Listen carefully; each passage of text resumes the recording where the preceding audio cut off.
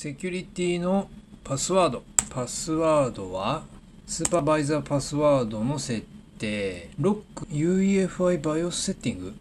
なんだこれ。スーパーバイザーパスワードっていうのは、 boot priority list とか、 network related items、 date time のアクセスを防ぐという話なんだけれども、それ以外の BIOS セッティングに関してもアクセスできないようにするためにはここをイネーブルドにしなさいよっていう話なのかな？多分そういうことなんだと思う。パスワードだとアンアタッチドブート。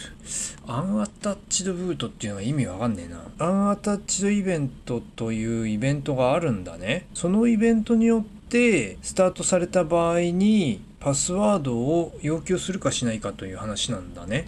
感じとしてはそんなことみたい。 Password at restart。これのオンオフと。で、 password at boot device list のオンオフね。はい。で、 password count exceeded error。なんだこれ。オンオフができんだけど、 enabled にすると、 POST 0199エラーを表示して、セキュリティパスワードを要求しますよと。 Disabled にすると、 POST 0199エラーを表示しないよっちゅうだけの話か。ああ、そういうことだね。で、セットミニマムレングス？こういう風に設定できるんだが、ここのパワーオンとハードディスク1のパスワードの長さをこの長さ以上にしてくださいねっていうことを設定できるんだ。で、パワーオンパスワードの設定画面、ハードディスク1パスワードの設定画面なんだけどなんだこれ？えっとだからハードディスクパスワード、ハードディスクパスワードっていうのは、ユーザーとマスターっていうの2種類あるんだけれども、いずれのパスワードも許可していないユーザーからのデータアクセスを防ぐためのものですよと。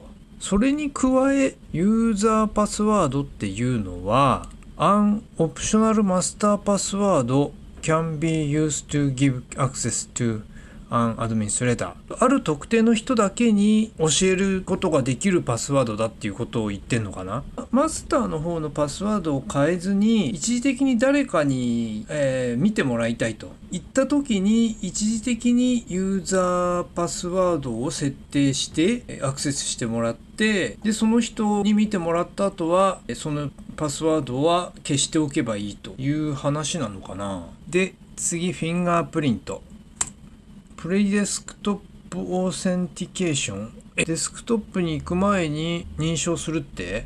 そういえばまだ全然指紋リーダーのセットアップしてないからどういう動きをするのか分かってないんだけどさ。リーダープライオリティ。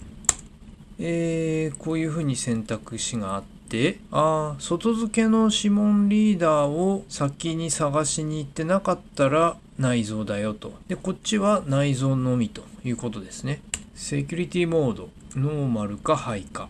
High にすると、指紋認証せずにシステムがブートされた時にスーパーバイザーパスワードが要求されますと。 Power-on password はダメですよと。で、 normal の場合は power-on password もスーパーバイザーパスワードも使えますよっていう話なんですね。で、次は reset fingerprint data。プリントリーダーの設定をしていないから continue したって何も起こらないよと。次は security chip。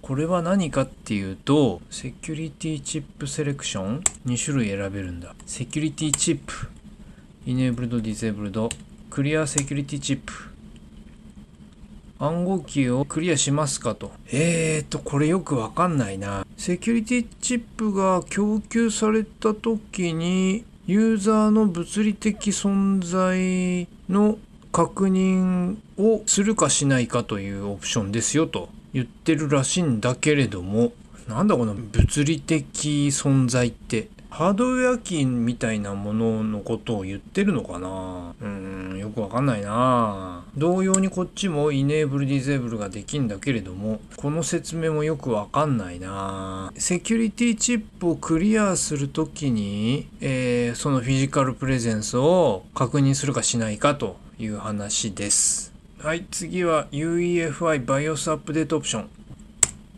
Flash BIOS Updating by end users 許可するかしないかという話ですね。 Secure Rollback Prevention。 Enabled にすると、古いバージョンへのロールバックは許可しないと。はい、次、 Memory Protection。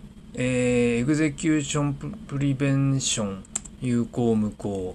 DEP を有効にするかしないかって話です。で、で、 Virtualization ね。 Virtualization ね。VT の disable、enable。VTD の disable、enable と。で、 I/O Port Access。あ、それぞれの IO ポートを無効化できるんだ。 Ethernet LAN、Wireless LAN、Wireless WAN、Wireless WAN。これ WAN モデルじゃないんだけど、なんで Enabled になってんだろうね。よくわかんないけど。で、Bluetooth、USB ポート、メモリーカードスロット、インテグレーテッドカメラ、マイクロフォン、フィンガープリントリーダー、YU、それぞれに対して有効無効をできるということですね。インターナルデバイスアクセスとブートカバータンパーディテクション法の有効無効ができると。ボトムカバーが開かれた時にスーパーバイザーパスワードが要求されると。あ、そんなセンサーついてんだね。同様にインターナルストレージタンパーディテクションもあるんだ。これ意味わかんないな。なんかこれ盛んに S3 がどうこうっていうことを言ってんだけれどもとよくわかんないの。は完全パワーオフの時にディテクトしてくれないの？ちょっとこれは動きを見てみないとよくわからん。はい次アンチセフトいきます。Computrace。まあこれ盗難防止用の機能なんですがこういう風に選択できます。 Absolute Software っていう会社が提供している optional な monitoring service ですよと。まあなのでこれは別途契約しないと使いようがないっていう話だな。ということなんで Current State は当然 Not Activated っていうのになってますと。で次 Secure Boot。Secure Boot は何かっていうと有効無効が選択できて、まあこれ普通 Enabled でいいんだけどね、 UNIX だとか他の OS を動かしたい時にいじる可能性があるよっていう話だよね。 Reset to Setup Mode。セットアップモードにリセットする？あこの辺はわかんねえ。使ったことないし、よく知らない。この辺は省略。とりあえずこういう風な選択肢があります。ね。インテル SGX。インテル SGX コントロールこういう風な選択肢があります。 Current State Disabled Software Guard Extension なんだこれ？えーと軽くググってみたところどうやらこれはですねソフトウェアの改変を防ぐための技術ですね。まああと何？リバースエンジニアリングとかも含めて第三者の不正行為を防ぐというそういうものみたいです。とりあえず選択肢だけ見ておきますけれども、インテル SGX コントロールはこの3つが選べて、チェンジオーナーエポック。これはパーシステントデータが失われちゃいますけれどもいいですかと。当然これノーです。つまり、えー、クリアしてエポックっていうなんかよくわかんないけど、なんか SGX を使うために必要な ID なんでしょう。それを変更するよということですね。で、デバイスガード。デバイスガード。これは有効無効が選べて、えっ、ー、と、これまたちょっとよくわかんないのでググってみたところ、許可したアプリケーション以外のアプリケーションを実行させないという仕組みみたい。まあ、これ個人ユーザーには全然縁のない話だわな。まあ、さすがシンクパッドだけあって、こういう機能も初めからついてると。はい、それでここまで終わりました。セキュリティのセクションは全て終わりです。